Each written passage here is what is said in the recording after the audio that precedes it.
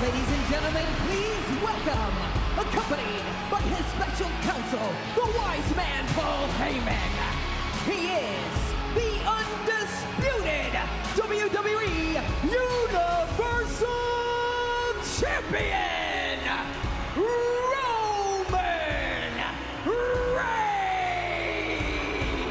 Reigns.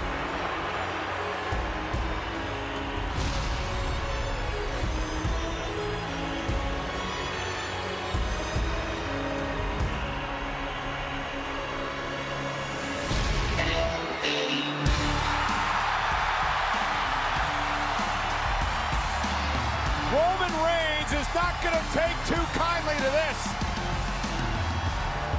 You don't tug on Superman's cape, and you sure as hell don't interrupt the Tribal Chief's grand entrance.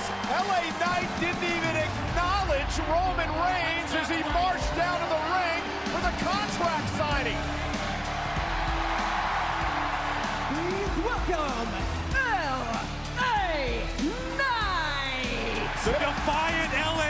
wasting no time trying to get under the skin of Roman Reigns. Well, tonight marks the 1,153rd day that Roman Reigns has been champion.